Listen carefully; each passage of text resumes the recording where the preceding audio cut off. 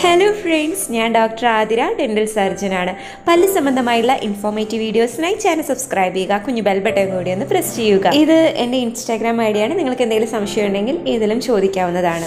പല്ലിന് കമ്പിയിട്ട കൂട്ടുകാർ ചിലർക്കെങ്കിലും ഇതുപോലുള്ള പ്ലാസ്റ്റിക് സ്ലീവ്സ് എന്ന് പറയുന്ന പ്ലാസ്റ്റിക് കവറിംഗ് കമ്പിയുടെ മുകളിലായി കണ്ടിട്ടുണ്ടാവാം ഇത് എന്തിനാണെന്നും അതുപോലെ ഇത് എങ്ങനെ ഇടുന്നു എന്നെല്ലാം ഈ വീഡിയോയിൽ കാണിക്കുന്നുണ്ട്. പ്രധാനമായിട്ട് ഇത് ഇടാനുള്ള ഒരു കാരണം ഇതുപോലെ കമ്പി ഭാഗങ്ങൾ മുത്തിന്റെയോ ഒന്നിന്റെയോ സപ്പോർട്ട് ഇല്ലാണ്ട് നമ്മുടെ വായിലുണ്ടെങ്കിൽ ഈ കമ്പി ഭാഗങ്ങൾ നമ്മുടെ ചുണ്ടിൽ തട്ടി പുണ്ണുണ്ടാവാനുള്ള സാധ്യത കൂടുതലാണ് ഇപ്പോൾ ഈ ഫോട്ടോയിൽ കാണുന്ന പോലെ കണ്ടോ? നമുക്ക് ആ മുത്തിനെ ഒന്നും നമ്മൾ യോജിപ്പിക്കുന്നില്ല. അതുകൊണ്ട് കമ്പി ഭാഗങ്ങൾ കുറച്ച് നീണ്ട് കിടക്കുന്നത് കൊണ്ട് തന്നെ ഈ കമ്പി ഭാഗങ്ങൾ നമ്മുടെ ചുണ്ടിൽ തട്ടുമ്പോൾ നമുക്ക് പുണ്ണുണ്ടാവും.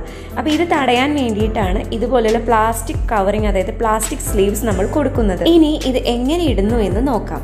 ആദ്യം തന്നെ നമ്മൾ എത്രയാണ് പ്ലാസ്റ്റിക് സ്ലീവ് എടുക്കേണ്ടത് അത് അളന്നെടുത്ത ശേഷം കട്ട് ചെയ്ത് ഈ കമ്പിയുടെ ഉള്ളിൽ കൂടെ ഇൻസേർട്ട് ചെയ്യുന്നതാണ്. ഇങ്ങനെ ചെയ്യുന്നത് കൊണ്ട് നമ്മുടെ ചുണ്ടിലും കവിളിലും എല്ലാം തന്നെ ഇങ്ങനെയുള്ള കമ്പി ഭാഗങ്ങൾ തട്ടി പുണ്ണുണ്ടാവാതിരിക്കുന്നു.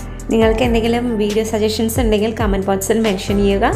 Thank for watching